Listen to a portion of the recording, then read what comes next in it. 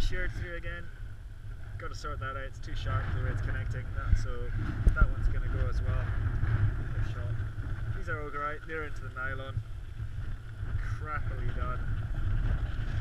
Uh, this, this joint here. So that's smashed. Uh, it used to go into there.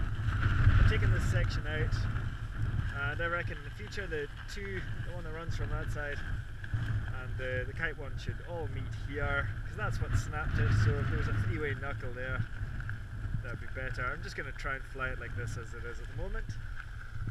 So I'll go take a bit of the pressure off, I'll take that hammer off of there because that's slightly overkill.